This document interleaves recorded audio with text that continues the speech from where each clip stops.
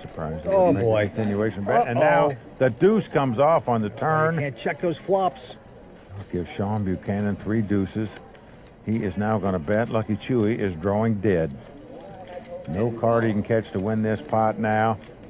So whatever money he puts in the pot, say goodbye to. Down to the river. Seven. Well, this gives Lucky Chewy two pair. It could get him in big trouble, Vince. Oh boy.